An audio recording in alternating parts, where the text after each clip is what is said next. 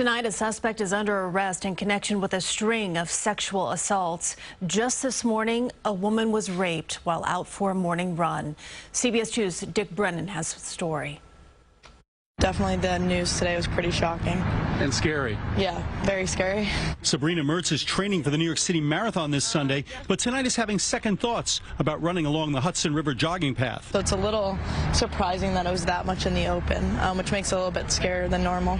This comes as police have charged this man, Carl Feiner, in the horrifying rape and robbery of a 43-year-old woman at around 5.30 this morning while she was jogging near Pier 45 between 10th and Christopher. She was just kind of saying, I need help, I need help. And I said, okay.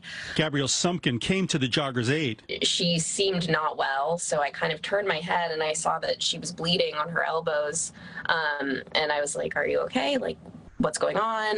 Hours later, police say they arrested Feiner trying to use the victim's credit card at the Midtown store. He has 18 prior arrests for assault, drug possession, and theft. The suspect in this case is also charged in two other attacks, one in late March, the other in early October. In the attack last month, police say he put a 48-year-old woman in a chokehold near the FDR Drive at 37th Street, and in March, choked a woman near Pier 40. Definitely kind of makes me think twice about leaving the house and at what hour and what it looks like, whether it's day or night. Women here say that while it's reassuring a suspect is caught, you can't keep your guard down. Common sense and also just, especially as it gets uh, colder out and there's fewer people out, being aware of our surroundings.